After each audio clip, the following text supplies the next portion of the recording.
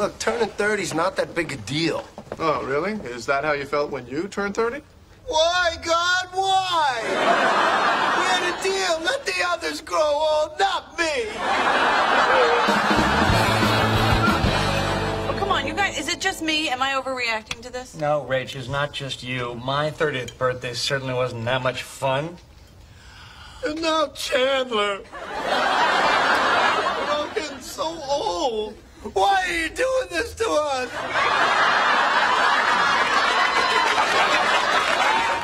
Well, here we are, just a bunch of 30 year olds.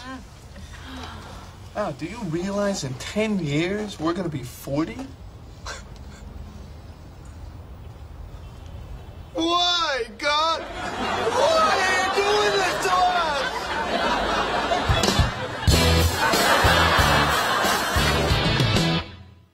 Would you feel if you found out you were 31? That's not going to happen, you know, because we have a new deal.